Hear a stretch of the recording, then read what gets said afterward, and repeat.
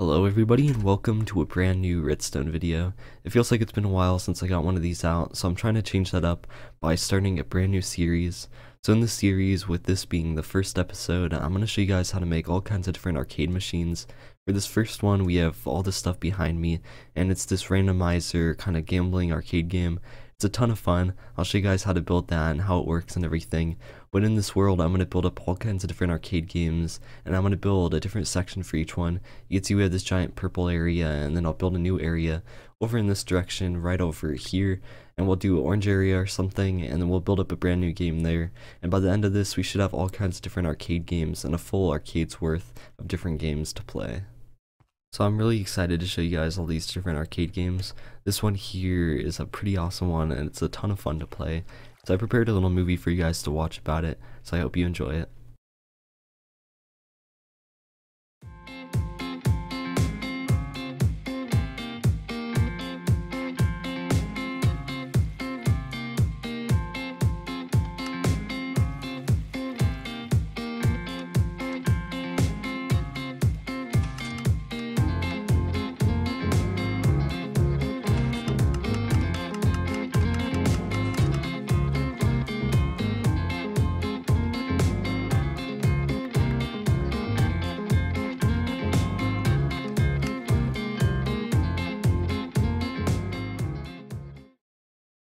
Movie showed a bit of how it worked, and I'm actually really surprised that I just got the major prize right before recording this clip. But all you have to do is toss a token into here. If you put any tokens in, the light lights up, letting you know you have a credit in the machine, but you could throw in a few more. And then if you press the button, it dispenses that into one of these random 7 spots. And so based on what you get, you get a different outcome. Just there we got nothing, which means no prizes are given. You don't get any type of uh, things for that. Let's play again, we got nothing again. That's actually the most common. And nothing the third time, that's pretty lame. Let's see what else we could get. That time we got minor prize, that means we get three tokens from here. So there we go. Let's put in a few more tokens as we ran out. Let's see what else we could get. This time we got minor prize again, that's pretty good.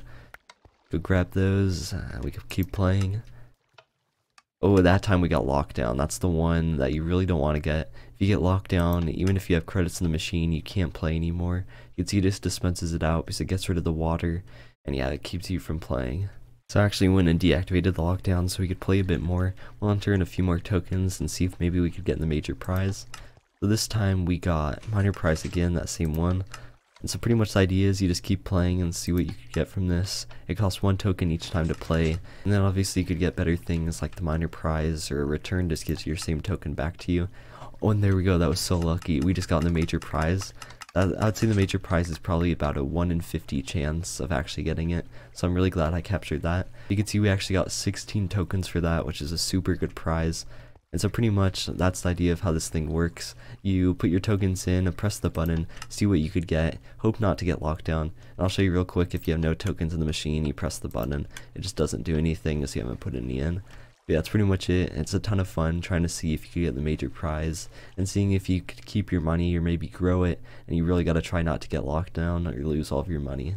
So next I want to describe a bit more of how this thing works. So I'm actually going to do that in three different perspectives. We'll do it from the player's perspective, the owner's perspective, and then from a redstone perspective. So to start off with the player's perspective, you have seven different spots that you could get the token into, and then five different outcomes.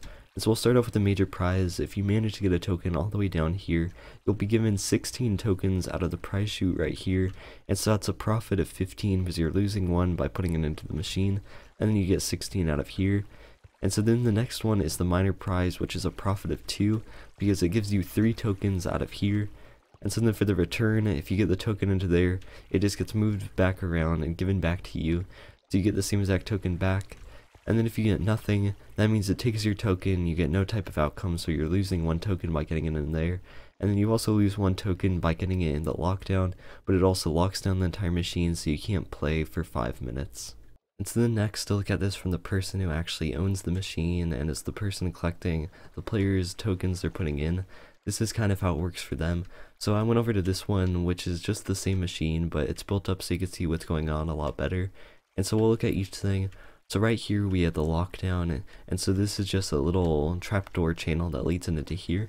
So if I drop a thing onto here, you can see it gets rid of the water, but the token just sits there and you're not actually able to collect it at all. So one thing I wouldn't recommend is using diamonds or something as currency for this game, because you would have a diamond just sitting there every single time someone gets locked down.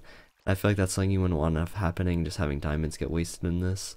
So we'll look at a few more different things. This one right here is nothing. So you can see it's just a hopper. It has no comparator coming out of it. So if I drop a token, if I could actually get it in, into there, it just feeds it into this barrel. You can see we got one in here now. And it just collects it, but it doesn't give any type of effect to the player or the person actually playing the game. And so then for a return, it puts it into this water stream. So we have a return both here and then here. And so that puts it into this water stream, which goes along this way puts it up into that bubble elevator, and that's what carries it up over to here. And so it just puts it into the water stream and carries it back to the prize chute. And so the next we'll look at these hoppers here. So these two are for the minor prize. So whenever it gets put in there, you're also able to collect it because it goes into this hopper chain, which leads into the barrel, which means that you're getting a token from it. But then it's also activating a bit of redstone back here. As for the minor prize, it activates it long enough to spit out three tokens. And so those tokens come out of a storage right here. Actually, I have purple concrete in here. It should be these little tokens. And so then that spits it out from the storage right there. So that's actually something you need to refill every now and then. Not very often though, unless someone gets a ton of prizes. And so that's the same sort of thing for the major prize right here. It activates something down there and that makes it spit out 16 tokens. So pretty much from the person who owns a perspective, you have some tokens getting fed into here, which could be like your earnings for the machine. And then you have this little spot you have to refill over here. And so now for the actual redstone of each thing, we have for this first one, whenever a token gets pressed on there, it activates the pressure plate, sending a signal onto this, so that observer sees that pulse and it powers this block, which powers the dispenser, and that makes it retract all the water. And so we just have a water bucket in here, it's going to be a water bucket if there's no water, and obviously empty bucket if there's water out. And so then when that token finally despawns after 5 minutes, it will disappear, which does the same sort of thing, activating the observer again, which makes the dispenser now spit back out its water. And so that's how that one works. For the nothing, it's pretty simple, you just have a hopper feeding into a line of hoppers which just points into the barrel. And so then for this one, this is pretty much no redstone involved for the return system. It just gets put into the water stream, carried up here, and it's all just water streams that carried up there. And so then uh, where the redstone actually comes into place the most is for the two minor prizes we have here and here, and then for the major prize. So whenever a token goes into that, it activates the comparator. So in this case, it depowers the torch, which powers this torch here, and then that makes this piston extend for... Oh, wait a second, I could actually improve this redstone a bit. I just realized this. If I do that... Oh, no, that's dumb, never mind. But what I actually now realize is that I could change it up a bit I could put a repeater facing this way instead of a redstone dot, and then a redstone dot up here instead of all these torches. But there's really no reason to do it, it's just two torches and the repeater, so you're not really saving any resources. Just another way to do it if you want. Alright, so anyway, back onto this. Ah, now I'm breaking everything. And so whenever that comparator detects an item flowing through this hopper, it depowers the one torch right here, which powers the torch here, extending the piston, and that connects these two observers, and when you have two observers facing each other just like this, creates a pretty fast pulsing clock, and so that extends for just long enough to get three pulses out of this thing, which dispenses three items from this dropper, and so that's a bit different from the major prize, we want to have more items, so when that one activates, it sends a signal running up this way, and it actually activates a pulse extender, so the input signal is still the same, but it drags that out a bit longer by having the pulse extender, and that makes the piston activate for a bit longer, and that gets more pulses out of the clock, and we end up getting 16 pulses and get 16 items for the major prize. And so then the final other redstone we have going on is just for this little starter circuit here. There's actually not too much redstone for this entire thing. Uh, I'd say the most kind of bulky part of this is just the token dispenser stuff. And so then for this area, we just have a few different things. So we have this one dropper here. This is the dropper that spits out your tokens. And this actually has quite a few different things that need to connect up into it. First of all, we just have the hoppers. So this hopper points into this hopper, which points into the dropper. So whenever you put something into there, it just flows automatically into the dropper right here.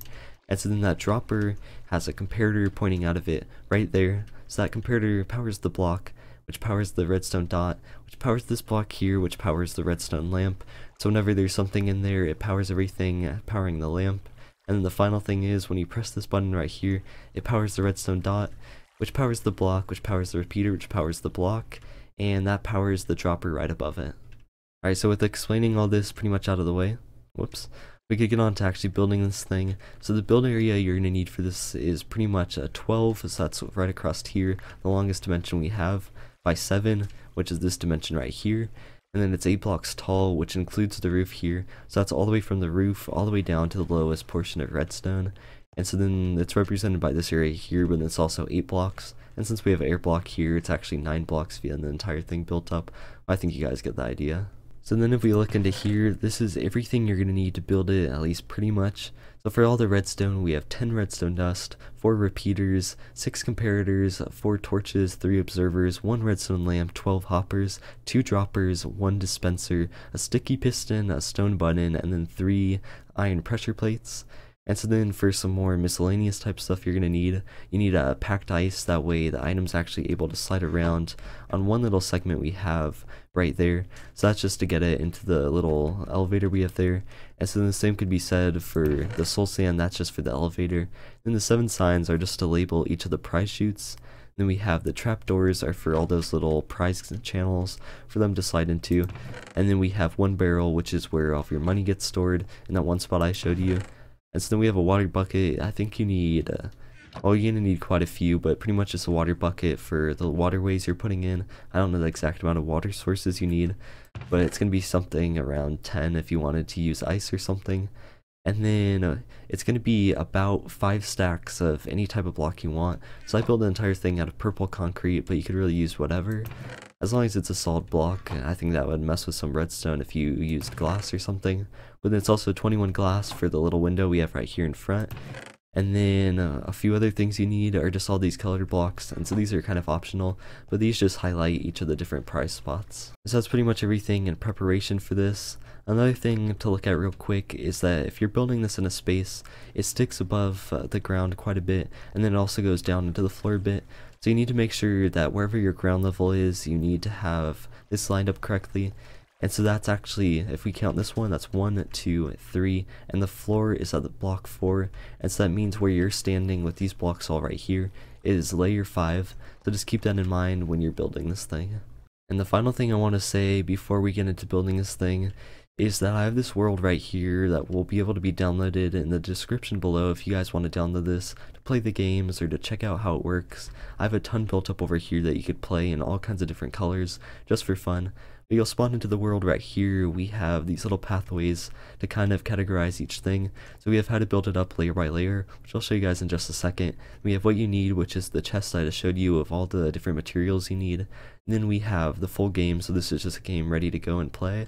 And we have the exposed redstone where you can see everything and see a lot better how everything works. And then we just have more machines and different colors. And so you can go and play all these if you want to. And then like I said at the beginning of the video, the next time I build up an arcade game, I'm going to build it up in this world here. And so you can see we have this little purple tab uh, for this whole purple section. But then I'll build up the next tab, which could be lime green or orange, whatever the next arcade game will be built up in. And so then that will take up this whole area here. And then as we go on building all these arcade games, we'll get more and more of these colored tabs. And then by the end of this, when you download the world, you'll have all kinds of arcade games to play. And I think that should just be a ton of fun. And you'll have these little demonstrations of each one. I really think that should be pretty cool. Alright, so now to get on to building this thing, I built this up layer by layer. So if you just took the entire thing and you split it up into slices, you could see this would be each layer of it. So this is the whole first layer, and it's numbered with each one of these. So it's a total of 8 layers because it has a height of 8. And so I'll just quickly show you on this. You can see on the first layer, it's just this little section here. And so that's what's put right onto this one. And so then what you need to build up on top of that is this here. So you can see how this would be the start of the elevator. It's right above the soul sand. So it would get the bubble effect. Then this little stream here would be held in place by this little spot here. And so this is each layer. I'll go through and just stop at each one so you can see all them. If you want to try to build it up but just by looking at this. Right now I'll just get an aerial shot of the entire thing. So we could look back at this entire thing. And then I'll go through layer by layer.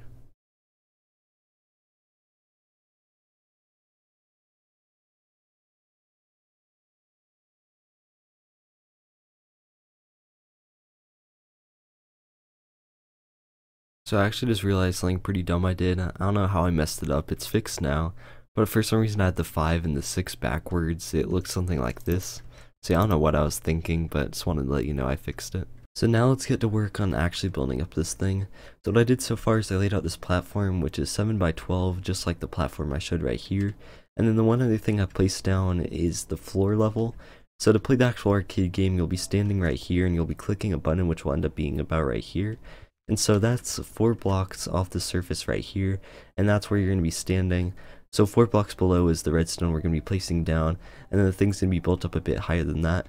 But that's just to give you an idea of where the actual working space will end up. So I was thinking about how I was actually going to build up this thing, and I think the easiest way is just to build it up layer by layer like we have right over here. So for that first block of soul sand, you want to count three away from this corner right here, and then uh, two away from this corner right on that block there, and so to give you an idea of where that is in context of the entire build, this is going to be where the window ends up and where you're actually interacting with the arcade machine. And so the elevator is popping up right where the prize chute will end up. And then from there you want to add in your packed ice for the items to slide across into the elevator. And then it's just another 5 blocks after that. And so now we're all finished with the first layer, so let's start on the second layer. So I'm going to go in that opposite corner, of the soul sand, and I'm going to go to this block right here which is two blocks towards the middle and then flush with this wall right here. So just like that, and since it's on the second layer, you just want to build up one more and get rid of the block below. And then I'm also going to place in another block just diagonal of that one going in towards the center so we get a little structure just like that. And then what I'm going to do is count four blocks away from the one spot we just placed the diagonal blocks to build up another two high structure just like that. And then from there, I'm just going to fill in this entire area, going all the way around the water stream, so fill in everything except for above the blocks we placed right here. So pretty much just like this, going and wrapping all the way around, and then just fill in all this, and then we have that whole section all ready to go. And then the final few blocks you need are two more right here, leaving a one block space right there. If we look over at this, leave a two gap right here, and then just another block, just like that. And that should be your whole second layer all ready to go. So now starting on the third layer, I'm going back over to these two diagonal blocks right here. And I'm just going to place in one block in between the two right here. So this block is on the side that's flush with the wall here, not on this little segment. So pretty much just have something that looks like this. And then running out of that one block and on top of the two diagonal blocks we placed right there, you want a repeater right here, which is on this one, just like that and then a redstone dot on this one here. And then you also want to place a block right in front of the repeater, and then one to the side of that, and then just one more, so this is just going to be filler block, so we can place that, then that one off that, then we can get rid of this one right here, so we end up with that. And now I'm going to place in a barrel just in front of that one repeater there, and then I'm going to run some hoppers and a line, just one pointing after the other, straight into the barrel, and that should go all the way up so it's flush with the ice right here, so not on top of this block, but just like that. And then we need some more hoppers pointing into this hopper line right here. So you want one right there, then leave a space, another one here, and then two more there and there. So now we're going to place in some more redstone circuitry. So in between this hopper and barrel, place an iron pressure plate, and running out of that, have a repeater pointing into a block, and then have a redstone dot right there. So now we need to place in some more purple blocks, so let's build those all the way up from the side of this repeater all the way over so it's at the diagonal of this one hopper. And then out of these three hoppers, have a comparator pointing all in the same direction, just like that. And now I'm going to place in some more purple blocks, kind of weaving around the comparators we have right here. So just in all the areas to the side and in front of the comparators till we get right here. Then you want to place a full donut of blocks going all the way around this elevator we have here. And then the final block we need is just in the corner and pop it in. So then to finish up the redstone circuitry for this layer, have a repeater coming out from the block the comparator is pointing into, and some redstone dust in front of that. Then it's just another redstone dust right there, and then a torch off this block. And I apologize, I forgot to add this in, but you need an iron pressure plate on top of the packed ice we have right here. Because when we place in the water that we have here and here, you need to make sure that it doesn't flow out, and then you also need one water source going in right here. So then that's the third layer all completed, so let's start work on the fourth. So for that, I'm going to place in a block right there in the very corner on the fourth layer, and then I'm going to place a redstone lamp pointing off that, and then we need to actually go and grab a dropper, because we're going to place in a dropper with the repeater pointing into the block right here. So right on top of that block, place a dropper pointing upwards, and then have two hoppers, one pointing into the dropper like that, and then one pointing into the hopper right there. And then you could go ahead and fill the rest of this line all with purple blocks. So now we need some more redstone circuitry, so running out of the dropper we have right here, place a comparator that will detect anything in there, and in front of the comparator, place a block for it to point into, and then a redstone dot right here. And then go ahead and grab an observer and have it so it's facing down just like that. So you want to place it from the higher view like this, and so the redstone part is pointing upwards. So now place a block right on top of this barrel here, and then all the way down this entire line. And then after that, fill in the rest of this area, but leave a 2x2 gap, just like that in this little area we have right here. But then for the rest of this, this little area we just marked out, you could fill in completely with blocks. So you should end up with something just like this. And so now I'm going to go ahead and place in another dropper, so you want to have this one pointing in this direction facing that way, and then you want to place a block to the side of that and all around, and then the final one here so that we completely enclose the elevator, and then you want to grab a water bucket and fill in the water source right here. So then behind that dropper we placed in, you could place a block just like that, and then you need to get a redstone torch, and that goes right to the side of that block right there, pointing upwards, not on any of the walls. And then you need an observer, so the redstone part is pointing this ways towards the redstone torch, with the face right here. And then you want to have another observer, so you want to place it from this side just like that. So they're both staring at each other just like this. Then you want to grab a sticky piston and you want to place it from this side right here on the side of this observer and you want to have that right up snug against the observer so you end up with a little circuit just like this. And so now you can place a block on top of this redstone torch right here and then a redstone torch on this wall right here. But you gotta watch out because this guy will start going crazy so you could probably do that in a better combination but if it happens, just make sure to move it back to its original position right here. So now just fill in the rest of the line of blocks going all the way from here, all the way to the end of the machine just like that. And then we need to place in a few trapdoors. So then to place in those trapdoors, you want to be standing on this side of here, where you can see I have everything set up. You don't want to be standing on this side like this. So yeah, go ahead and stand on this side, place in a trapdoor just like that, and then flick it up, and then from there you could just keep on going like this until you fill in this entire area completely full of trapdoors. So pretty much you end up with something like this. So now we could start on the fifth layer and we're going to place in the only redstone we have first, which is a stone button on top of this redstone lamp right here. And I recommend the stone button because that means you could spit out tokens quicker and play the game quicker. And then you want to place a dispenser on top of the comparator we have right here. So they're both flush and not like that. You want it to be facing in that direction. So they're both pointing into the same air block just like that. And the one final thing is to place a redstone dot on top of the observer. So now for some more structured blocks, which are the purple blocks. Go behind the dispenser you placed in, and then one to the side of that, and then one uh, diagonal, the redstone lamp, so you get a little tri thing just like this. And then you need one more block just right here. So then we could go back over to the side with the elevator, and you want to place in a three wide section of blocks, going all the way back just like this. So you want to place that in everywhere except for where the elevator is. So dodge the elevator, and then fill it in so you leave this one corner empty right here to give you better access to the dropper you have right here. And then you need one final block on top of this redstone torch. And then after that, just continue the purple going all the way along here. And so you want to fill in that entire line, and then you want to fill in that line, I actually have to go peek at this real quick. And so it looks like you want to go four blocks away. So that's one, two, three, four. And so starting here, and you just want to fill the rest of this in. So then the final thing for this layer is to add in your glass. So you could use any type of glass. I like using purple to match the purple theme we have going on so far. So just fill in that entire line going across there. And I actually almost forgot, we need some more trapdoors in. So this time it's a bit different, we only have one more extra trapdoor. But for that, I'd recommend placing in a block right there. Then a trapdoor off that block, you could get rid of the block now. Open up the trapdoor, so we have one here where we didn't have one on the layer below. And then after that, just do the same pattern of placing in these trapdoors and opening them until you get all the way to the end. And by the way, for anyone who doesn't know, to place a trapdoor on another trapdoor without flicking it like this, you just need to hold down shift, which allows you to place it on top. Because if you try to do that without holding shift, it would just flick it like this. So yeah, that's a pretty useful tip to know. And then the one final thing is just to fill in the water we have right here.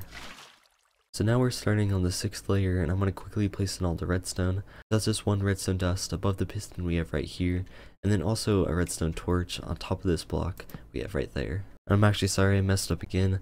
You actually don't need these three blocks right here. You want to have this whole corner so it's all flush just like that. So now you could pop back over to this corner, the one that we had the dispenser and the redstone lamp at.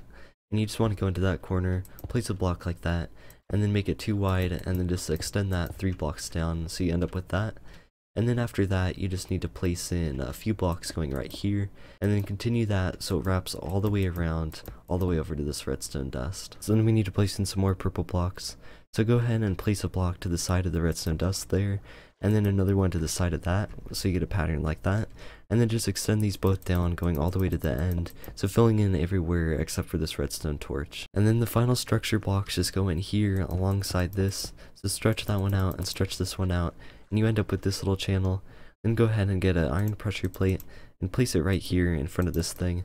Definitely not a dropper. And then you just want to place a water source right here so it flows towards that pressure plate. So now just go and place some more glass on top of the glass you already had, just filling in another line just like that. And then the final thing you have left to do is grab all these different colors we have over here and put these in place. So for that, I'm starting on the side with the dispenser and the dropper, and it goes red, then black, it goes white, green, white, green, and then yellow. And then I'm just going to start on the next layer by placing the blocks on top of that. So it just goes in the same pattern.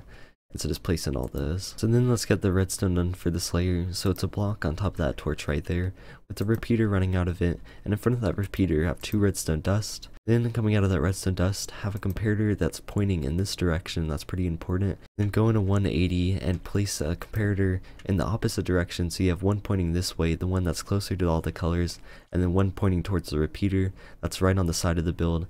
Then it goes a redstone dust behind this one here, and then a purple block in front of this one here. And then the one final thing that isn't just purple blocks is to place the glass on top of all the existing glass, and that finishes up your window. So then for the purple blocks, you want to place purple blocks in a three wide pattern going across the entire bubble column we have right here, and then filling in this block as well.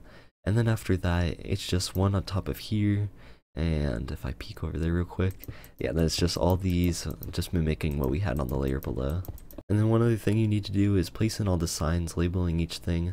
I'll put it up on the screen so I don't have to name them all out. But they just match each of the colors with the different prizes that you get. And that's pretty much it for the seventh layer. And so then for the final layer, it's definitely the most complicated, so plug in your thinking brains, because you really got to be concentrating for this one. So here we go. Yeah, you're, you're pretty much just filling in the entire thing, it's really simple.